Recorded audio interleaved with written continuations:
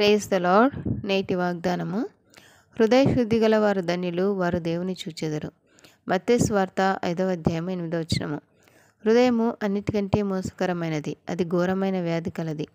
దాన్ని గ్రహింపగలవాడేవుడు ఇటువంటి హృదయాన్ని బాగు చేయడానికి దేవుడు నా కుమారుడా నీ హృదయం నాకిమ్ము అని అంటున్నాడు. మన హృదయం ప్రభువు నాకు ఇచ్చినప్పుడు ఆయన మన హృదయాన్ని తన అమూల్యమైన ప్రశస్తమైన రక్తంతో కడిగి శుద్ధి చేస్తాడు.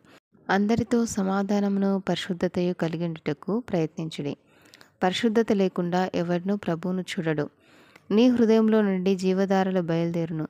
కాబట్టి అన్నిటికంటే ముఖ్యంగా నీ హృదయంను భద్రంగా కాపాడుకొనుము అని పరిశుద్ధ గ్రంథం సెలవుచ్చినది.